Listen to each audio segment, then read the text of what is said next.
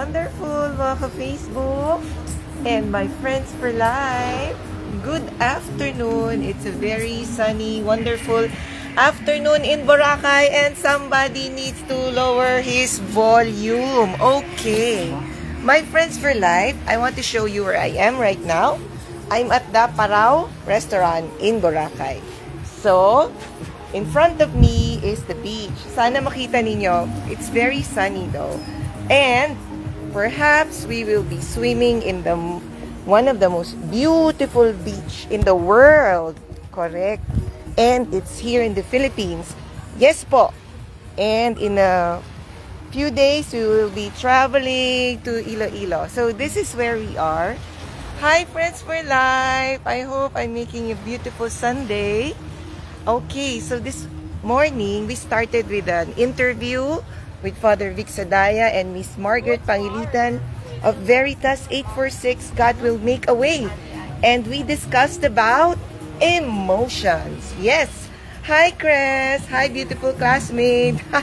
medyo, ahara, medyo mainit, pero hindi natin nakalimutan ang ating sunblock. Wow, ang daming pera ni ate.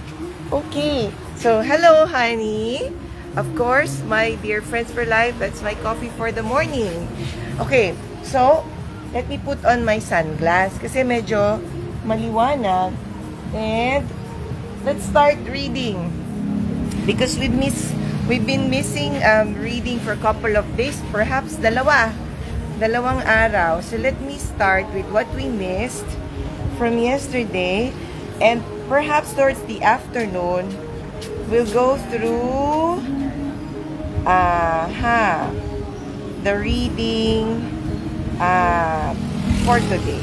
So, yesterday talks about increased love. Wow, increased love. So, mga friends for life, kamusta ang inyong love tank? Are we increasing love? Are we contributing love? So, this morning's um, Mass was celebrated kami ni Patrick dito sa Boracay. It's called the Holy Rosary Parish and we had a very beautiful uh, homily na para kaming ano, nag-recollection and ultimately that's part of increased love. Right, Daddy? Increased love. And uh, hello Kuya Rex. Thank you so much. This is very, ay, sa Boracay po kami. Yeah. Okay. Inaantay namin ang aming masarap na lunch na aamoy ko na. Kuya, ang sarap ah. Ay, nasa likod ko na. Kaya pala ang sarap. My God, gutom na ako. Ang sarap. Okay. Para, sana kayo din nagla-lunch. Okay. Sige, basa-basa muna tayo. Okay.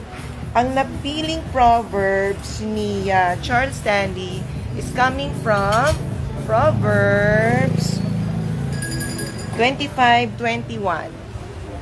Ganito na lang. Yan, para maganda-ganda naman. Kuya, kailangan mo ng ano. Ah, ganun pala talaga yung bubong nila. Oh!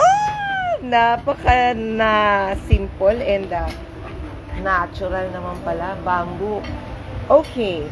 Proverbs 25:21. If your enemy is hungry, give him food to eat. And if he is thirsty, give him water to drink. You know why? When you share your blessings, friends for life, that's actually sharing love. Some people, they would immediately feel the love of God if when they feel they need something, there is immediate help. So, para sa mga taong nagugutom, pag binigyan mo ng pagkain, napipil nila love sa mga taong nauuhaw, pag binigyan mo ng tubig, ang nararamdaman nila ay pag-ibig. Okay, so of course, uh, nawawala yung gutom ng katubig, pero yun yung kamay ng Diyos para iparamdam mo sa kapwa mo na may pag-ibig silang nararamdaman. Okay. So, pasensya na kayo, nagugutom yung kasama ko. Alright. Enjoy po. Yes, Kuya Rex. Certainly. We will enjoy. Okay, so tanggalin natin ang ating para and let's start reading. When someone wrongs you, you will be tempted to rehash all the person has done to you. Ay, baoy-baoy ang peg. Even as you're in the process of forgiving him or her, the enemy will convince you that the person needs to feel the shame and guilt of the sin he or she has committed. Unfortunately, focusing on this only keeps you trapped in bitterness and unforgiveness because you are taking justice back into your own hands rather than leaving it in God. Oh, kung meron daw po bang na, meron daw po kayong nakaaway, instead na patawarin, binabaoy. Yung baoy is a, a deep term of, you know, binabalikan yung history. So, paano kayo makapagpapatawad yan?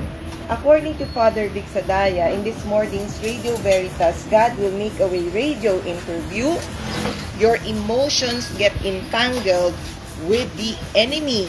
So if that happens, that unforeseen enemy, no, ang nangyayari, traps you. Now, you feed the hunger, you get hurt. Yon. Okay. In fact, tuloy basa. In fact, some people read Romans 12:20 which says, If your enemy is hungry, feed him, and if he is thirsty, give him a drink. Or in so doing, for in so doing, you will heap burning coals on his head, and thinks, ah, I'll do something good for him because then the punishment will be worse. That is not forgiveness. That's a complete wrong attitude. Rather than a chance to vengeance, forgiveness is an opportunity to show the love of Christ and increase your love for one another. Love is both the seed and fruit of forgiveness. When you feed the hungry, when you feed your hungry enemy and gives him something to drink, you replace the bitterness in your heart with God's grace. Hello, Miss Byrne. Good afternoon, ma'am. Yes po. Andito ako sa Boracay mamaya. Mag-aano ako. Magbe-bathing suit. Naka t-shirt and shorts. oh, balik tayo sa ano natin. Sa reading. Matatapos na. Friends, are you willing to let God to make you a vessel of His love? Of course! Do you want Him to turn your trials into fountains of fruitful, fruitfulness? Of course! Do we, do we hear amen there? Yes, amen. Then, as 1 Peter 4 8 instructs, keep fervent in your love for one another, because love comes, love covers a multitude of sins. Wow! Be kind to those who hurt you as Christ has been to you. You will forgive much, but you'll also learn to love much. And that's always is pleasing to God. Wonderful reading for a very lovely Sunday afternoon. At mamaya, tayo ay magsiswimming. Alright. So at the end of the page, there's a short prayer. Nakikinig yan sila ate. Goes like this. Lord God, I know I have to forgive down to the deepest part of my soul. Ouchie. Show me always to minister to my foes so that you will be glorified and I will be healed. Amen. In the name of the Father and of the Son and of the Holy Spirit. Amen. My friends for life, thank you so much for always catching no? Our reading daily towards the afternoon. I'll show you again how Boracay looks like. It's so pleasingly beautiful. Sasabihin mo, Lord, thank you so much for bringing us back to this beautiful place. Na? Yan, ang ganda-ganda. At ang ganda-ganda ng mga tao dito. Sobra. Thank you, Lord. Thank you so much.